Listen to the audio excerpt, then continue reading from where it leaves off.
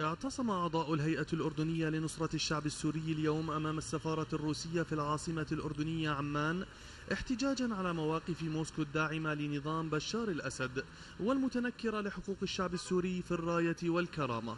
مواقف حالت حتى الآن من اتخاذ موقف حاسم من قبل المجتمع الدولي ضد جرائم النظام السوري بحق أبناء الشعب الأعزل.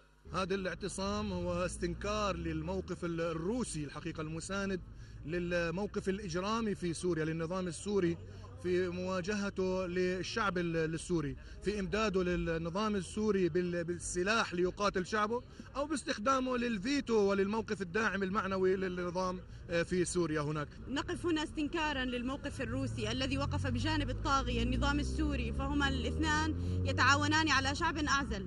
ويعني يقتلونه بالأسلحة.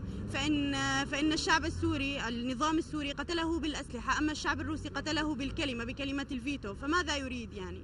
المعتصمون أكدوا أن مطالب الشعب السوري غير قابلة للمساومة وأن نصرته تعتبر التزاما أخلاقيا وإنسانيا قبل أي شيء آخر.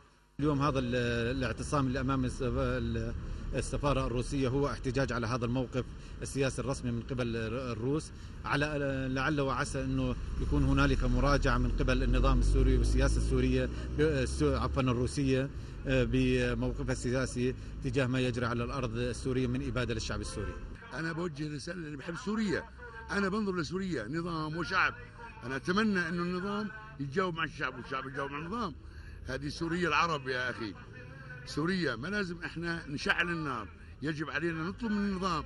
ووجه من هذا المنبر المطلوب من الرئيس بشار الأسد أن يوقف أن يوقف تغول الجيش على الشعب السوري.